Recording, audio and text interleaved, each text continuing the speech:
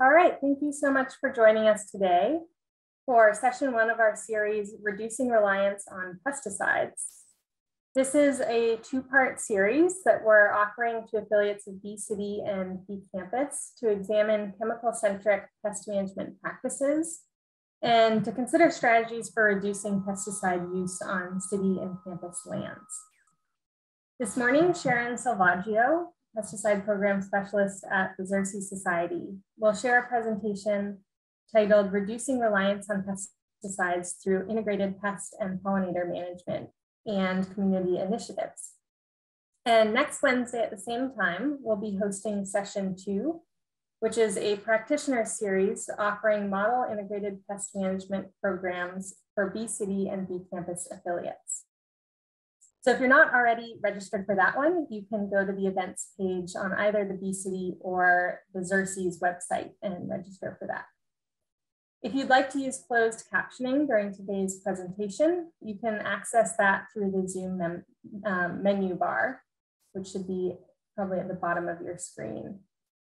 And following today's presentation, we'll have time for Q&A. So feel free to put your questions in the Q&A feed, also in that menu bar throughout the presentation today, and hopefully we'll get to everybody's questions at the end. So with that, I'm excited to hand it over to Xerces Pesticide Program Specialist, Sharon Selvaggio. Hi, everybody. Can y'all hear me? I'm, I'm assuming so. um, well, thank you for making time for this. I always find it really gratifying to work with Bee cities and Bee campuses um, you all exhibit really a depth of passion for pollinator conservation that's such a model to all of us here at Xerces and to people around the country. So thank you. Um, now, reducing reliance on pesticides is an important component of the Bee City and Bee Campus programs because routine pesticide use can undermine the whole conservation objective of pollinator conservation. So we've designed um, this session, um, really the series of sessions, including the practitioner series that's happening next week, particularly for you. Um, figuring out how to adjust pest management and to get everybody on board can be tricky. And our goal is to set you on the road to success, um, to reducing reliance on pesticides in your community so that you don't have to figure out this sticky piece all by yourself. A few months ago, we put sent out a survey. Many of you responded to it. Thank you. It really is helping us and will help us for the next several years, I think, to guide the kind of information that we're able to provide for you. Um, and uh, one of the things that you all mentioned is good examples of um, integrated pest management. So that's part of what this um, is about, as well as teaching sort of the basic principles. One thing I want to say up front is that as we consider the opportunities to reduce pesticide use and the impacts, um, we see a natural partition between public lands and private lands. On public city land and also on campus land, where pest management is centralized, pesticide use reduction can be guided in, in a strategic way through what's known as integrated pest management or IPM. Now, IPM has been around for a long time, pollinators are becoming a bigger piece of that. And certainly we see that through this lens. So sometimes we talk about integrated pest and pollinator management so that we make sure that we think about pollinators as a, a big piece of this. To reduce pesticide use on private lands, um, bee cities can use education and community-based initiatives to achieve these ends. We definitely encourage citizens and students to pay attention to both pieces so that they can work with their grounds managers on parks and campus lands, and also be equipped to consider community initiatives for, the, for working at the neighborhood level. So feel free to jot notes, uh, ask questions at the end, and we'll post this presentation on our YouTube site so you can refer back to it in the future. So uh, I'll start today by talking about the principles and methods of integrated pest management or IPM for those public lands. I'll discuss elements that you include or consider including in your IPM plan and some tips for success based upon the experience of others who've been through this before, including me. I'll wrap up by mentioning a few community initiatives that are good examples for reducing pesticide um, use in residential areas. And finally, I'll share a few resources that you may want to consult after the webinar. I'm going to use the term BCUSA from time to time, and just so that you know, I'm referring to both the Bee City and the Bee Campus program. It's probably safe to say that your community or campus passed a resolution to become a BCUSA because of an interest in supporting bees. Thank you. Uh, because as you may know, pollinators across the country are showing signs of stress and decline. For example, we're seeing range contractions and decline in abundance in, of many native pollinators. Habitat loss is a major factor, of course. Pesticides, a billion pounds of which are used each year in the US, are also a major cause of pollinator decline. Bee kills from pesticides have been widely reported, but even when pesticides don't kill, most pesticides also cause subtle adverse effects that can slowly result in population decline. Because of your commitment and the knowledge that you'll gain through the BCUSA program and the other affiliates that you'll learn from along the way as well, we hope we'll never see a bee kill uh, in your communities. And more on the vision side, um, the dream for the BCUSA program is really to be a model of management where pollinators, especially native bees, can not just survive, but thrive. So when your city or campus decided to become a bee city or bee campus, you committed to reduce the use of pesticides, create and adopt an integrated pest management plan designed to prevent pest problems, reduce pesticide use, and expand the use of non-chemical pest management methods, and to develop this plan in the first couple of years after joining. Now, one thing to note, the commitment is about developing a plan. Some communities have policies. Both can work, I tend to think of policies as broader guiding documents um, and plans as more detailed instructions. In either case, neither will be of any help unless the plan is living and respected and put into place. In other words, the plan turns into a program. What you don't want is a plan that sits on the shelf. To make your plan a program, IPM needs to be a priority in hiring, training, work plans, and be an ongoing element, even broader uh, in development maintenance, and communications efforts. As we move in, into this discussion, I want to emphasize that what we're talking about today is not something to be limited solely to the pollinator habitat that you are creating with such enthusiasm in your parks and on your campuses to really live up to the BC USA vision, um, IPPM um, is applicable and hopefully driving management on all of you met on all of your lands. We'll focus mostly on landscapes today, but ideally you'd think through IPM for uh, city and campus buildings, offices and classrooms, streets and trails, and neighborhoods. You're gonna hear me use the word pest a lot in this presentation. Please keep in mind that I'm thinking not just of insect pests, but also of diseases and weeds. And similarly, when I discuss pesticides, I'm thinking not just of insecticides, but also fungicides, herbicides, and other sides that are meant to kill or repel pests. So what is IPM exactly? There are a lot of different definitions that are out there. Uh, here are three good ones that we've selected. I'll take a few seconds of silence so that you can read these definitions.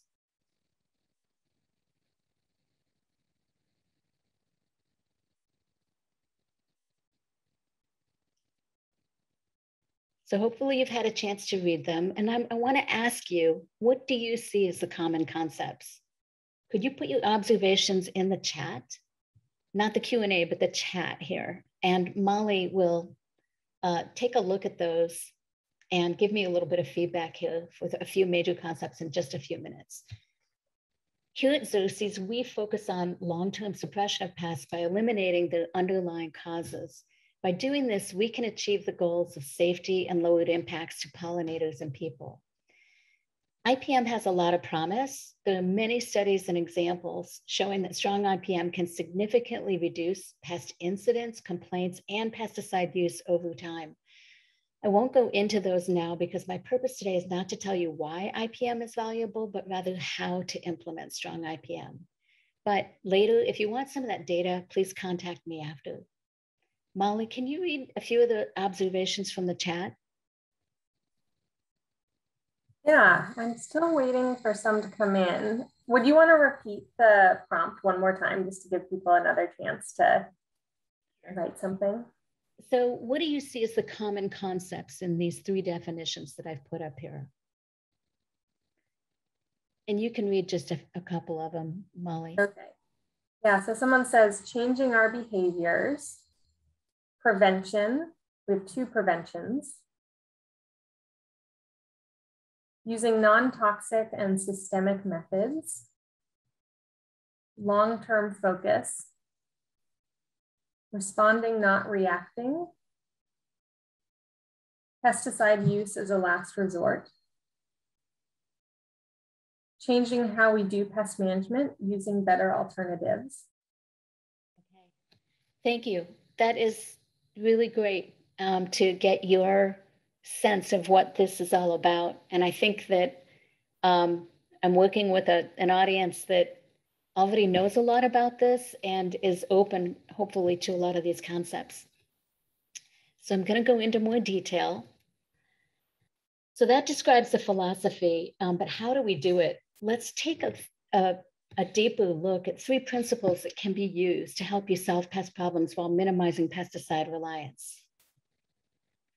Always start with prevention. Prevention is about addressing the root causes of pest issues with non-chemical approaches. Preventative practices keep you ahead of the game by keeping the system healthier or by eliminating the conditions that favor pests. Prevention practices are oriented toward ensuring that the pest populations don't get out of control. Note that prevention is about use of non-chemical strategies. Mechanical or physical disruption of the pest, such as hand weeding, also fits in here. The second principle is about understanding what pests are out there and if pest pressures or conflict with people even warrants intervention. This means observing and tracking pest pressure regularly. Observing can help you see if your non-chemical prevention methods are working and if you can continue to manage the pest with low impact methods. Thinking about pest pressure and incorporating decisions about this into your IPM plan is also important for reducing reliance on pesticides in your IPM plan, we invite you to consciously make choices about when and where a pest is enough of a problem to justify the use of a pesticide. I'll discuss that more in a bit. Finally, in some cases, there may be pests that defy preventative management and move above tolerable levels. While we do not encourage the use of pesticides, if someone is going to apply a pesticide, it's important that they understand how to limit the harm by reducing the risk of exposure and by using pesticides of lower toxicity. So IPM is built on these three principles. Like a three-legged stool, these three principles together form a balanced framework that can reduce reliance on pesticides and reduce impacts to pollinators or people if each principle is included. Note that I'm not just talking about substituting safer chemicals for uh, toxic chemicals. Sometimes people think that substituting a newer product that may be hyped as being greener or safer is what IPM is all about. And that is not the approach we recommend, at least not exclusively. So let's start with prevention um, in a little bit more detail, a few 30,000 foot level concepts. In a landscape uh, setting, prevention is basically about the skilled use of horticultural strategies to keep the landscapes healthy for buildings, same thing, good building maintenance to keep facilities in good condition. It can include a host of general best management practices, many of which you may already be doing. Um, for example, the principle of right plant, right place. Choosing native, adapted, low maintenance plants is a primary prevention tool. Taking care of the soil too, for example, by using compost, mulch, slow release fertilizer if used, avoiding compaction, erosion, and soil disturbance. Other basic measures shown on this list are also important, such as sanitation. That's not just about emptying the trash containers. Um, in a landscape context, it means making sure that you dispose of weed seed heads and other propagules and disease tissue in a way that won't lead to further invasion and spread. Mowing high and often is a recommended practice for healthy turf that minimizes weed pressure. When it comes to invasives and emerging pests, we recommend consulting local experts for specific prevention practices. Maybe you're wondering about that last bullet that I skipped over, maintaining diverse landscapes. I skipped over it because I wanted to give it more focused attention on its own slide. Did you know that giving more, um, more attention and protecting and expanding habitat for native pollinators actually comes with its own benefits for pest control. Many natural enemies that eat or parasitize pests also consume pollen. So adding flowers for bees also lays the groundwork for a healthy population of natural enemies who will control pests.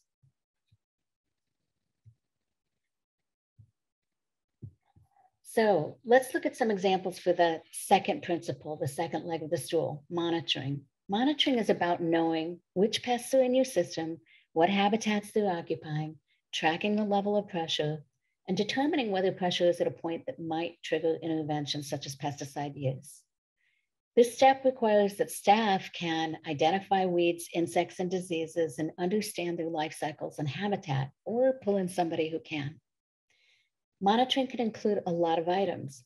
It is sometimes about doing inspections to note the presence and abundance of the pest itself.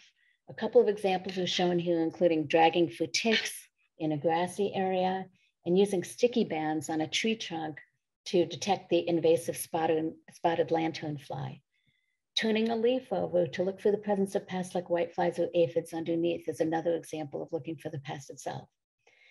Monitoring, however, is also about looking for pest conducive conditions. This would include things like testing soil chemistry and biology on a sports field or doing a detailed inspection of the kitchen and boiler room in the campus cafeteria. On the right is a portion of an inspection form for facilities from the Portland Community College IPM plan. If you attend our session next week, You'll hear more about the really excellent monitoring and inspection systems that Portland Community College has in place to inform and guide their decisions and actions. Doing this step well, although it may seem like a lot of work is really important to reducing pesticide reliance, monitoring can actually save on costs and prevent unnecessary ecological damage by reducing pesticide inputs to the system. And keeping written records helps you to be systematic and track trends over time. We recommend that you report invasives and emergence to uh, your local county or state if there's a reporting system for that as well. And keep in mind that not every sign of damage on a plant is a sign of something out of whack. For example, this photo shows damage, yes, but from a pest? No. Those circular holes bit out of the corners were made by leaf cutter bees a, type of native pollinator that uses small pieces of leaves to actually make its nest.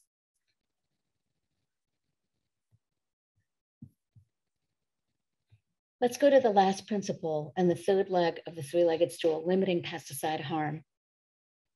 The best city and campus programs reduce the potential for harm, not just to pollinators, but also people, pets, and water resources.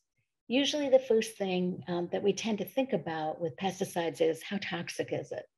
Limiting toxicity risk is one strategy to reduce the potential for harm. This means avoiding chemicals that pose a high potential at labeled rates for mortality to bees or to you know, known harm to pets or people or other highlighted resources. Also important is limiting the use of chemicals that are known to pose longer term sublethal effects, such as reproductive harms, cancer, impacts to learning, and so on. Keep in mind that pesticides that are toxic to people are not necessarily the same chemicals that are toxic to pollinators. So where do you figure out how toxic a chemical is and to, to which group? You can look at the label, which will provide some clue to short-term capacity of the pesticide to cause mortality or other health effects to specific groups of animals. But you won't find on the label um, things like the potential for the pesticide to cause developmental or reproductive uh, cancer effects. You'll need to look at more specialized information to find that.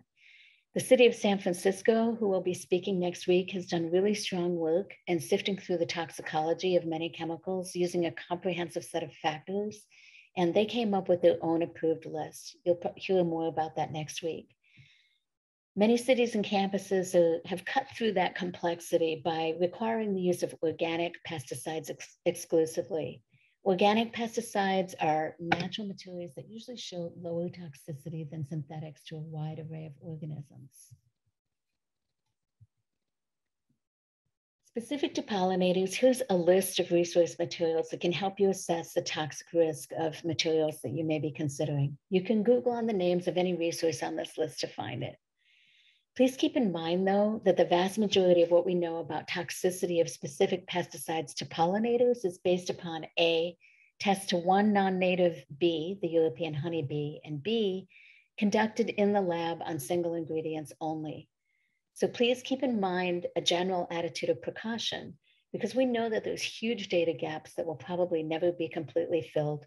We also know that studies show higher sensitivity of a lot of bees than the honeybee, for instance.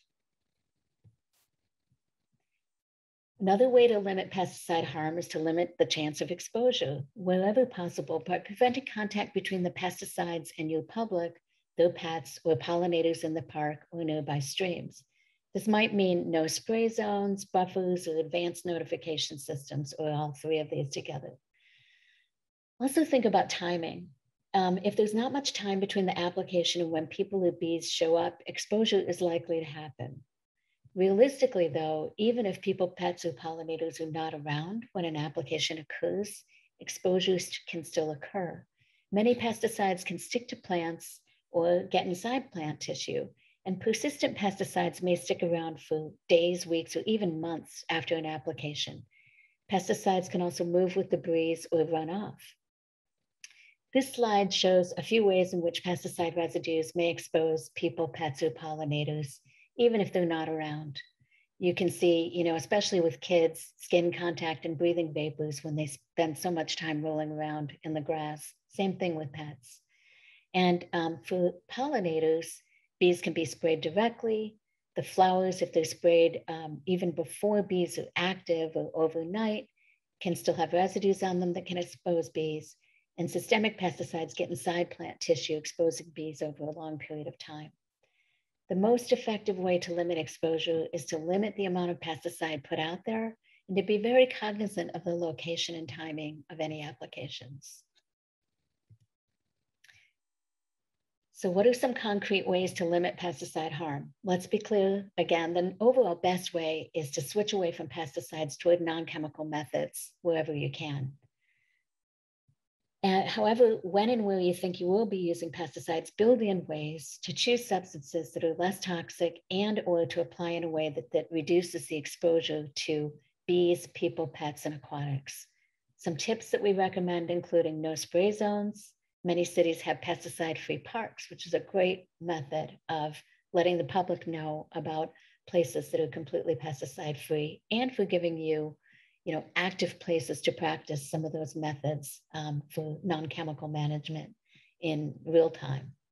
Warning systems, signs can be helpful. Advanced notifications are also helpful, including automated telephone calls to people who sign up for alerts. But pollinators can't be alerted in advance. So one way to avoid um, impacting pollinators is to avoid application to flowering plants, avoid soil applications where nesting may be occurring, and to avoid use of systemics. Stopping routine hidden pesticide uses such as fertilizer, herbicide products that are combined um, and choosing lower toxicity products are also additional ways to limit the potential for harm. Targeted treatments are another way. If you can, this is not always easy, but finding a product that's targeted toward the pest um, and avoiding broad spectrum pesticides and using the product at the lowest effective rate in as small an area as possible is also a good way. Okay, I skipped over one of the bullets again so I could emphasize it in its own slide. Cosmetic use, what is it? The use of pesticides primarily for aesthetic reasons, often associated with ultra manicured landscapes such as shown here. Cosmetic pesticides incur significant unnecessary environmental risks. We encourage BCUSA affiliates to eliminate the use of insecticides, fungicides, herbicides, and any other side primarily applied to maintain a certain aesthetic. Considering letting go of cosmetic use also leads to thinking more deeply about habitat.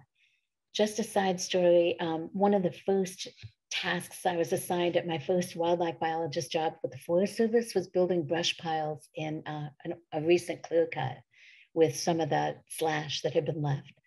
The purpose was to create longer lasting habitat for small mammals and other critters that needed that kind of structure and shelter that wouldn't really be available for a long time in the tree plantation that was going to follow the clear cut.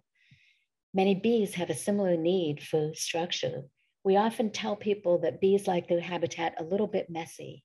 Bumblebees, for example, will often choose nesting and overwintering sites that are overgrown and uh, a little bit undisturbed.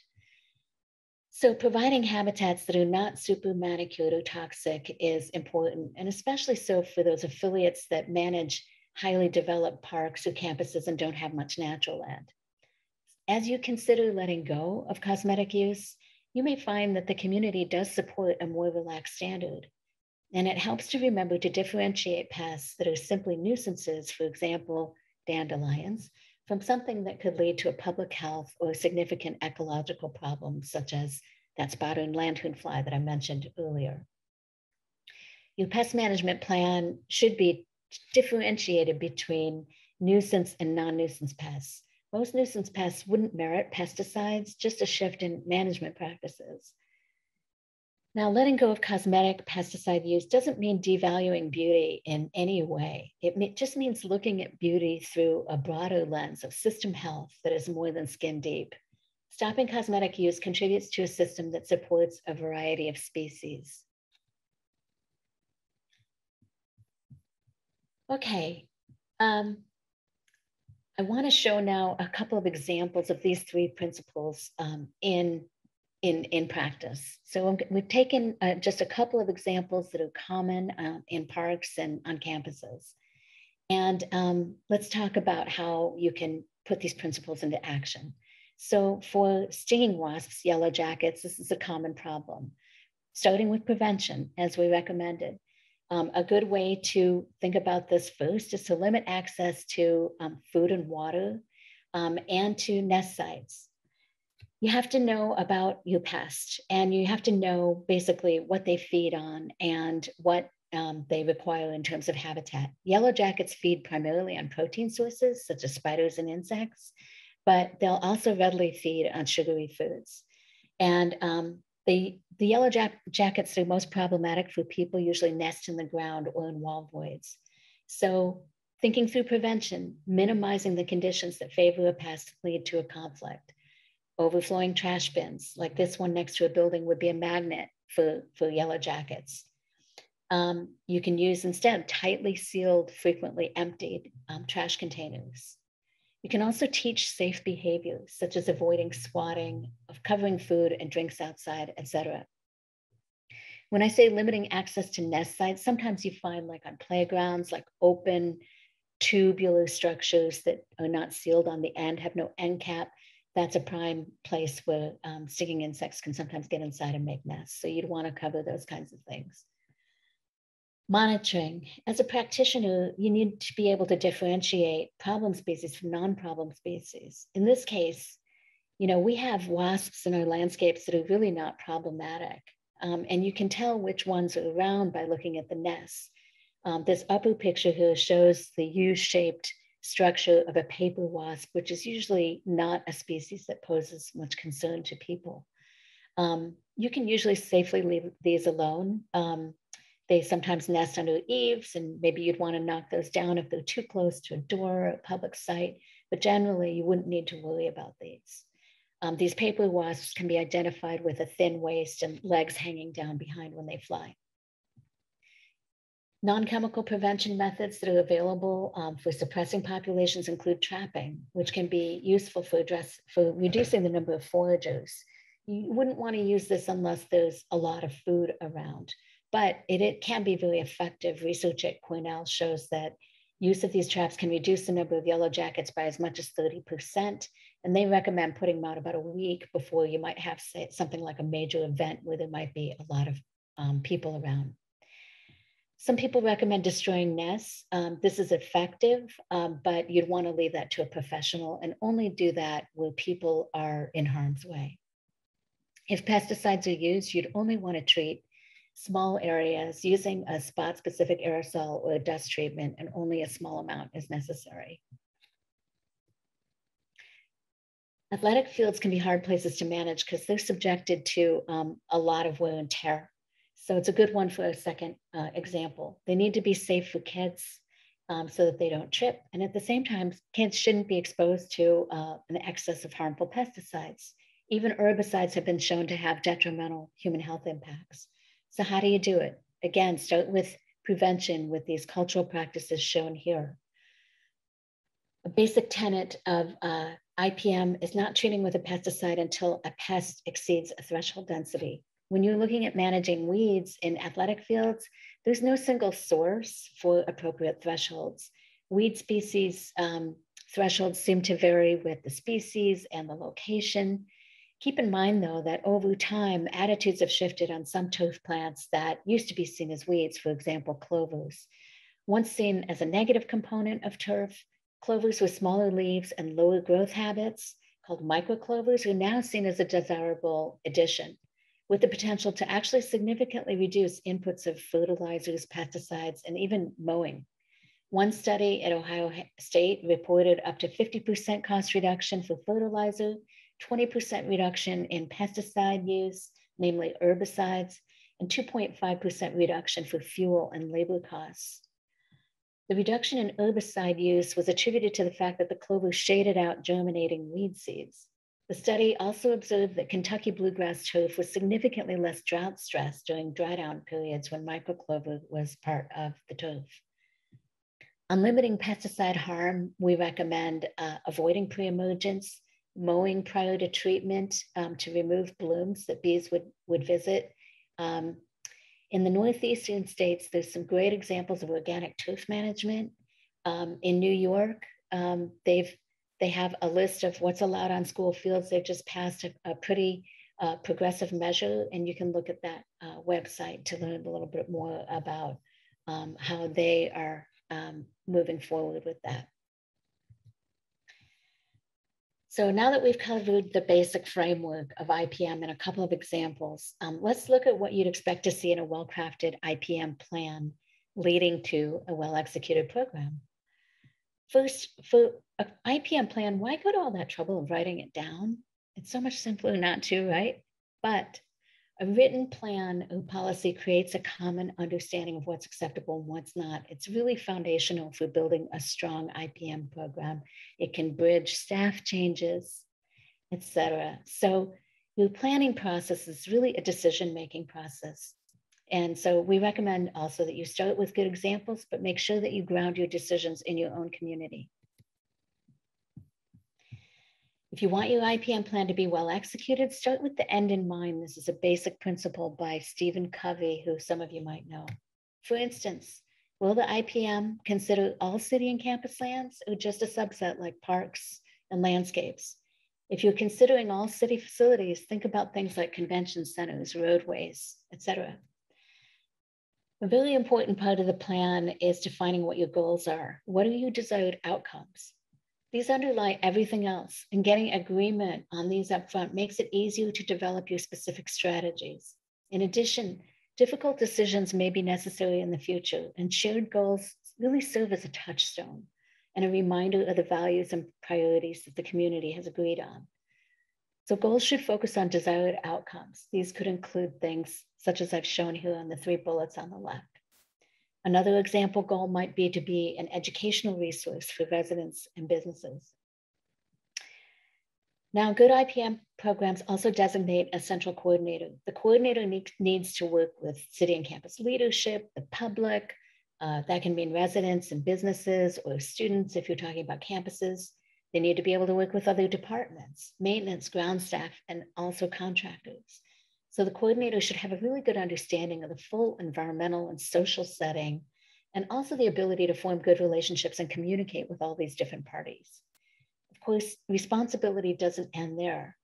Clear expectations for maintenance and ground staff combined with regular and informative training and the equipment and tools needed to do the job is also essential. Other staff, faculty say, are important too. They can contribute to the IPM effort if they understand their roles in prevention and reporting. A next really important step is to compile a list of your pests. Start with what you manage, perhaps, like what you're already managing against with insecticides, herbicides, and fungicides now. And perhaps that list would seem endless. So pay attention.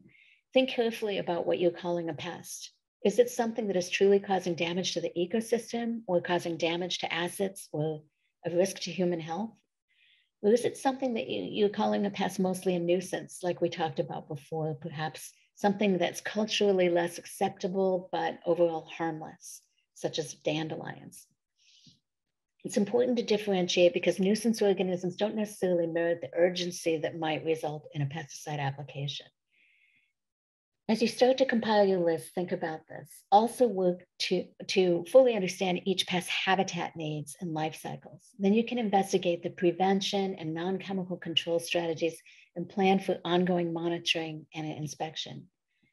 In addition, you want to be thinking about and incorporating into the plan action thresholds that may warrant an intervention, such as a pesticide application, in the event that those prevention strategies are insufficient to manage the pest at tolerable levels.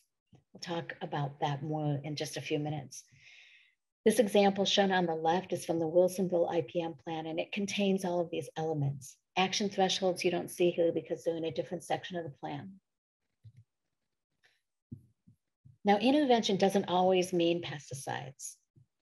And even, you know, you have a pest issue. How do you deal with it if non-chemical methods aren't working? Are pesticides always the, the, the next answer? Well, not always, say two scientists who lead an organization called the Ecological Research Institute. They're focused on citizen science efforts to monitor the occurrence of emerald ash borer, an invasive that kills ash trees and is fairly widespread across the eastern states right now they've developed this decision tree that shows the different strategies, um, everything from cut the tree to treat to uh, do nothing, basically monitor the tree. And you can see the criteria beneath each recommendation. This kind of decision tree is a really useful example of using affected trees to allow evolution to do its work, to help us find those resistant genomes. That's one of the purposes of that right um, right-hand side, just let the tree be and continue to monitor it. That also can allow us to detect natural enemies that may come in um, to develop for this particular invasive species. It's sort of next generation IPM.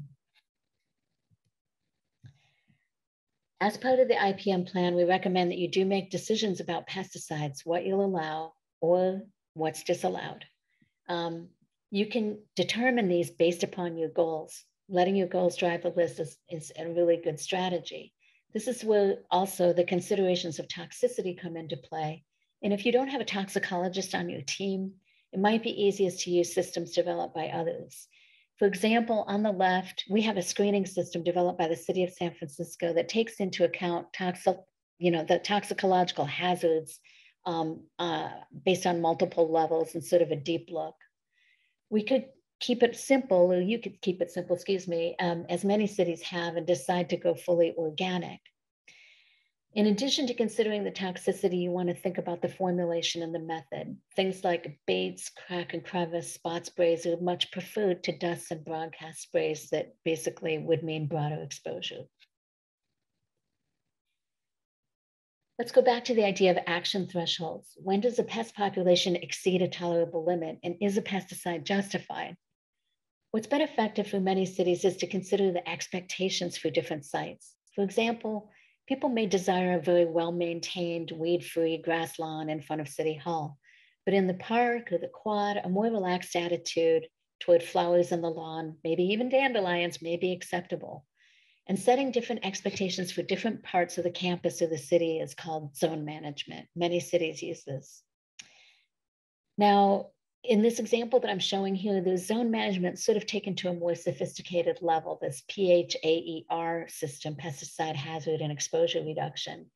Um, I believe it was developed in large part to protect humans, but this can be adapted for protection of pollinators and other resources. The idea here is that the higher the likelihood of exposure, the more important it is to reduce risk. Most of these systems use a green, yellow, red scheme. Um, so for example, on the right, you've got a schematic of a place called Cabrillo Ballpark. The green areas represent the areas where people are likely to be frequently. You can see it's a baseball field and you can see where the kids are going to be all the time. So there's a high likelihood of exposure in those areas, it's green area. Um, in those areas, you'd only allow the least toxic pesticides or possibly no pesticides at all. Yellow zones are areas with less potential for exposure and a broader range of yellow materials. See the list on the left um, are permitted in the yellow areas. Red areas are limited to special circumstances that they that would allow higher hazard chemicals under those special circumstances.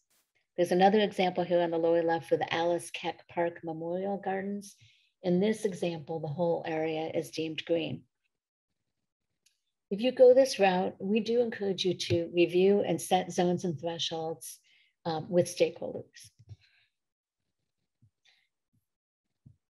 These cities and campuses are really enthusiastic about the commitment to plant pollinator gardens. And these habitat sites attract a lot of interest and are so important as demonstration sites. But make sure that you're sourcing bee safe plants with plants free of residues that could harm pollinators after they're planted, especially for those community sponsored pollinator gardens. To source bee safe plants, we've done um, work recently in producing some materials for you. Um, there's a shorthand over here on the right we recommend that first you seek out organic plants and seeds, and that you also avoid plants um, grown with neonicotinoids and other similar systemic insecticides, especially if you cannot find organic plants.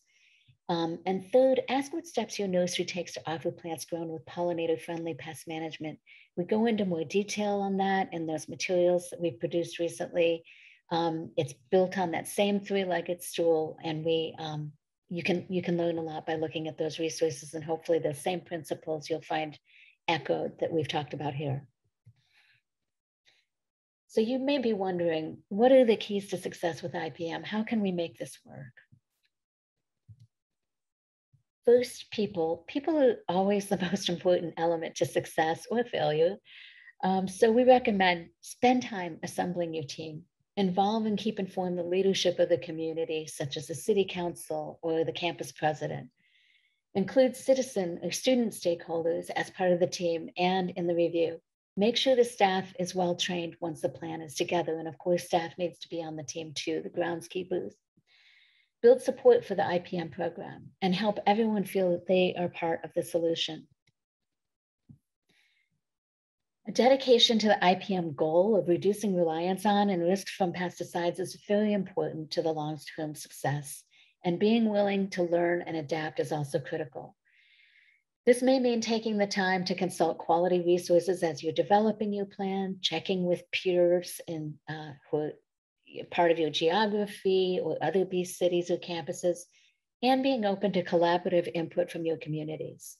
We recommend that you solicit feedback during development of the IPM plan and as time goes on so the program can be adjusted and monitored as needed. This will help assure success over the long term.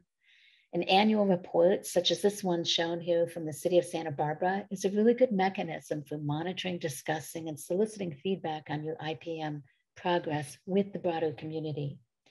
Finally, ongoing and sufficient funding is important. Prevention can be very cost effective but there's often a need for landscape redesign, training, and other investments, especially in the early part of the IPM program. Recognizing this need and providing adequate funding will also help ach achieve success. So cities and campus public lands are key, but for those of you who look to the residential space, you may wonder sometimes just how to get households to reduce the pesticide impact.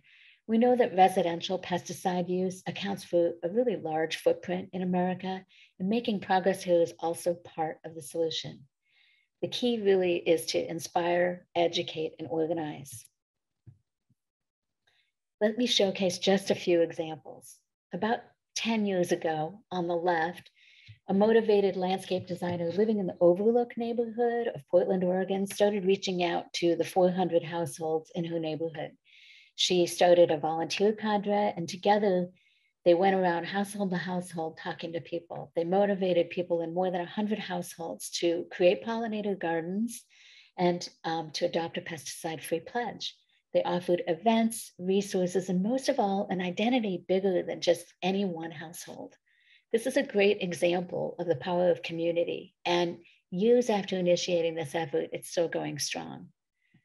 In the center, some cities use demonstrations and tours to good advantage. For example, advocates in Ashland, Oregon created a certified pollinator habitat program that promotes pesticide free gardening. Um, people have to apply to be part of this. And then once they're part, they can be part of an annual tour. And through these annual tours, they inspire and educate the larger community to gain further adoption of these same practices. In Marblehead, Massachusetts, citizens developed the state's first municipal organic lawn demonstration site on city land um, on a 2,000 square foot plot quite a few years ago. They develop educational materials about organic lawn care, and they hold educational seminars for professional landscapers and the public and to mentor other community groups.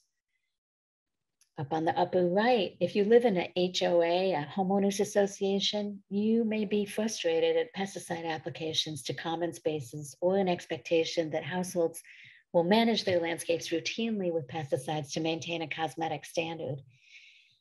In Oregon recently, thanks to community activism, the legislature passed a bill that requires HOAs to notify homeowners in advance of a pesticide application and allows property owners to opt out of centralized pesticide use. It also prohibits homeowner associations from requiring application of pesticide on owners' properties except as necessary for ecological or public health reasons. This example and other policy examples can serve as models elsewhere of course, one could go even further uh, without having to go to the policy space. You could work with your own HOA to get agreement to include um, a really strong program of monitoring and prevention in common areas, which could eliminate much pesticide use. You could also propose to limit the pesticides that are on the list, um, for instance, going organic only or going with a low toxic list that you can find um, from some of the examples that we've given you. Moving to our last example on the lower left in Decatur, Georgia, uh, where homeowner mosquito spraying is widespread. An educational initiative there, um, started by Beecatur, uses signs to help people make the linkage between their backyard choices and impact to bees. Now, um, Xerces and Bee City USA, we have a lot of resources to help. And here are a few that we think are particularly relevant to this topic um, pollinator protection for cities and campuses goes into those elements to consider in your IPM plan. Organic site preparation is a great resource if you want to establish your pollinator habitat organically. We have this wonderful resource um, publication called Pollinator Friendly Parks. This shows the version that's been on our website for a while, and the new version is probably going to be out in just a couple of months, and it's new and updated, and hopefully it's going to be a really great resources for you all. Buying Bee Safe Plants is that resource I referred to a few minutes ago um, to help you find plants that don't have residues um, for your pollinator, pollinator gardens, how to ask your nurseries those questions. That guidance for protecting habitat from pesticide contamination goes over sort of more high level concepts about protecting habitat you'll find that it is um, in many ways oriented toward an agricultural setting, but if some of you who are working with natural lands might find that really useful as well. And then over here on the right, we have this really great resources about helping your community create an effective mosquito management plan. So these are the few that I've highlighted, but we have a lot more. And um, if you regularly check the BCUSA site, you'll find a page focused on pesticides and resources that gets updated frequently um, that contains a, a, lot of information specific to your needs. And if you go to the Xerces site, you can go into the pesticide section to find all kinds of additional items. I think I mentioned that survey that we put out a couple of months ago. Um, again, thank you to those of you who responded to that. It's helping us to sort of shape what we provide for you all. And one of the things that you all mentioned that you wanted were what a good example IPM plans. So right here, we have a few plans or policies that we think are good examples. And there are many others. This is just a short list that I could fit on one page right here. And we're always interested in learning about other good examples. There's a lot of you out there. We have hundreds of affiliates. So please get in touch if you want us to learn more about your particular plan and how it's going. We're always interested in talking to you directly because we learn a lot that way. So I hope you come back uh, to attend part two of the session next week. I'm really excited about our speakers um, from San Francisco. We've got uh, Chris, uh, Chris, I'm sorry, Chris Geiger, uh, who is fabulous. I met him years ago and I'm really excited for him. And then we also have Portland Community College with Jack Lucier, who uh, gave me a tour once of his campus, and I'm also really excited to have him here. Um, they'll be here. It'll be an exciting day. And if you haven't yet signed up, you can find the registration link at the Bee City, uh, B, Bee City USA website under the events link. And with that, thank you so much. Um, we're always open to questions from you um, and helping you out where we can. So don't hesitate to contact us at this email address. And um, we're ready for questions. Aimée Code is with us. She's the director of our program here at Xerces, and she's going to help me with the Q&A. Hey, everybody. Yeah, we have two questions so far. Uh, and the one, Sharon, and by the way, that was awesome. I, I, I learned a ton there. So, and I've been in this business for a long time. So that, thank you so much. Um, question from Paige. What are IPM methods used to fight funguses resulting in turf issues? And the example she gave was brown patch. And I will ask Sharon to answer it, but before, if you don't have a specific answer right now, Sharon, there are so many examples of pests that we're always dealing with. It's a sort of thing um, we can get back to you on that. We can take a note we, if you can send us your email. Uh, also, you know, it's amazing what you can find online. Just kind of plugging in brown patch and IPM and see what comes out. But Sharon, do you have an idea to start off?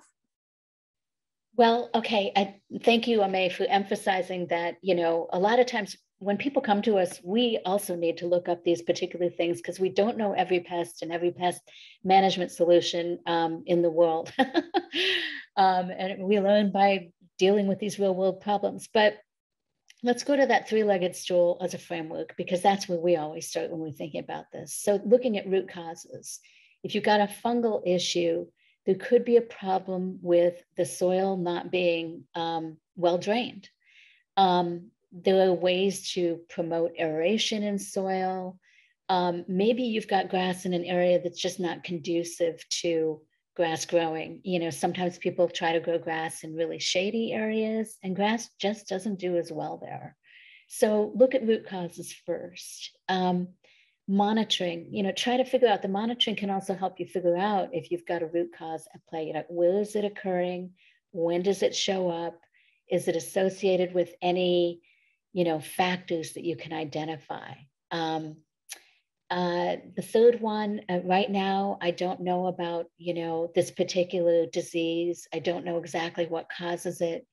Um, and the fungicides that people are using, and if there's lower tox fungicides or lower methods of exposure. But of course, going back to the three-legged stool, we would recommend that you look at um, doing everything you can with non-chemical management first uh, before moving to a pesticide. And if you do use it, use it in a very targeted, site-specific way with as low toxic chemical as you can.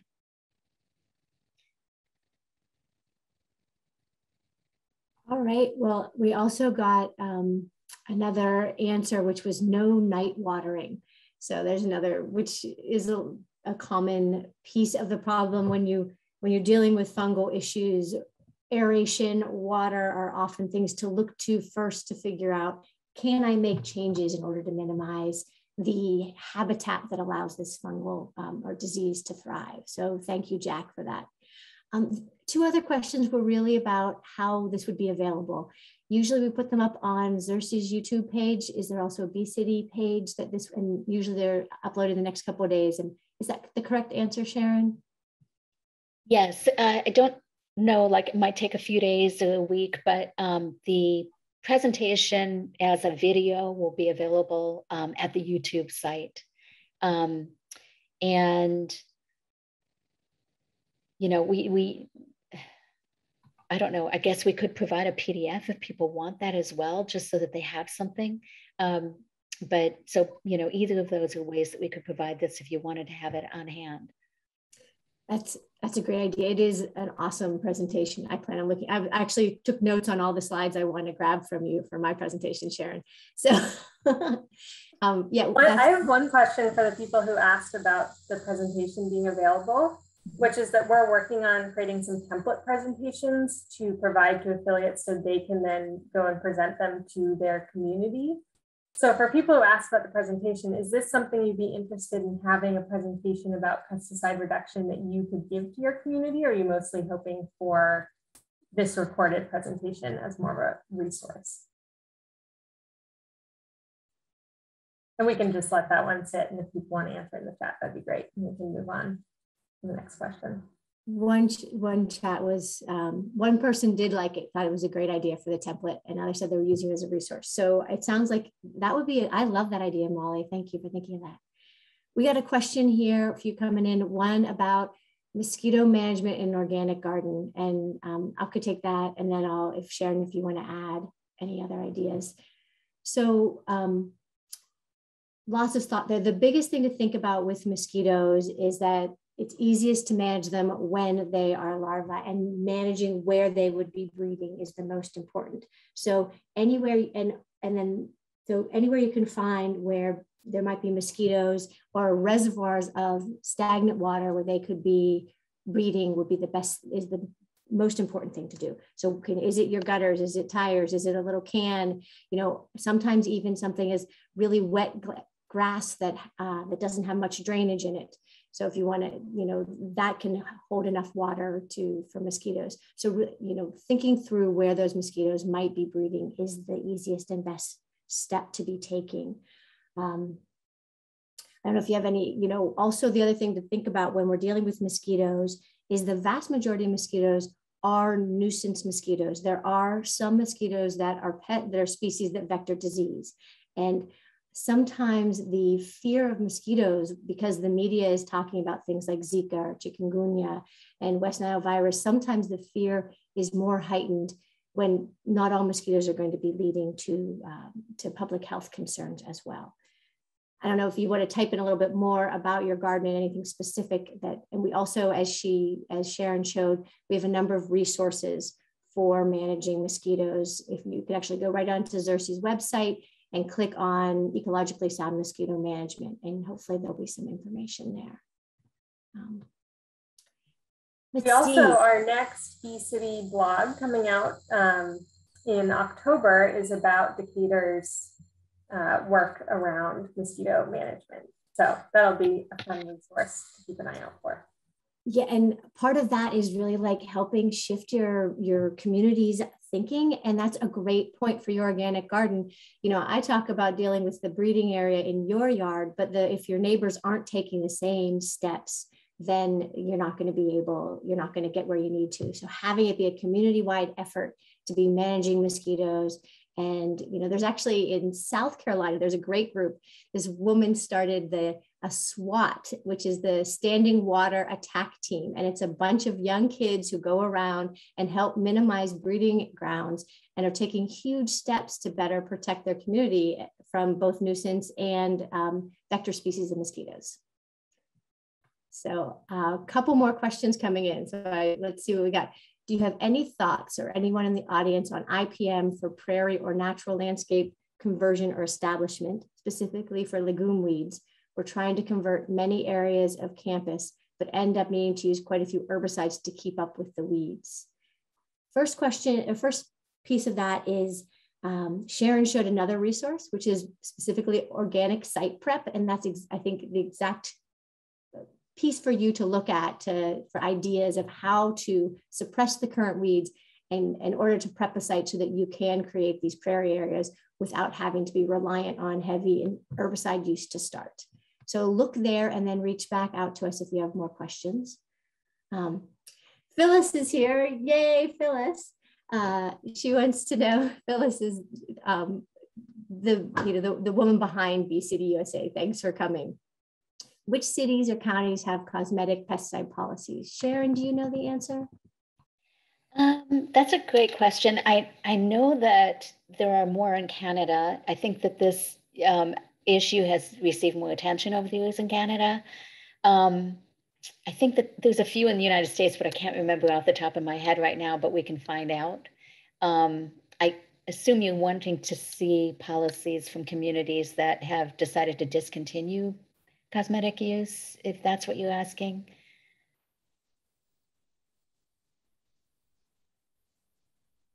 Phyllis, um, Phyllis was just noting that Anne Barklow is on the call and she is the woman who started SWAT. So yes, thank you. Uh, I think she is on the call. Uh, Phyllis, she asked you a question. Could you repeat the question, Sharon? Oh, me? I just, I, if you are wanting um, examples of um, policies from cities that have discontinued um, cosmetic use, I can look in my files and try to find, I can just can't quite remember. But there are more in Canada. I believe entire provinces have banned. It's been a couple of years since I've looked at this, but that's what I think I remember from Canada. Uh, you are right. Yes, I think it was Ontario. You're yes, a couple of them have. Good, good memory. It looks like we're through questions. Is there anything else?